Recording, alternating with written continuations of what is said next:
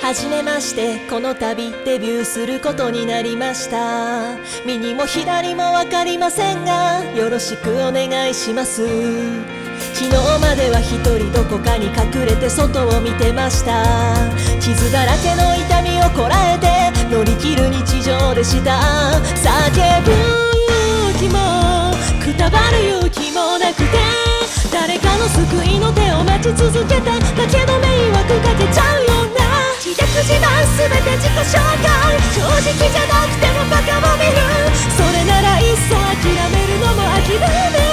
ことにしました。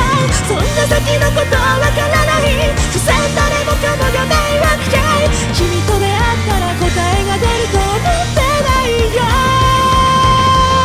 まだルーキーだから。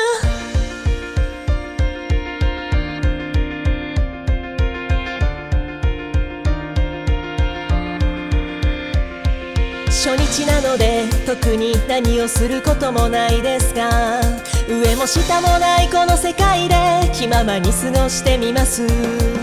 昨日までは一人どこかに隠れて息をしてました。どうせ誰にもこの声は届かない。だけの誰とは誰なのかな。孤独の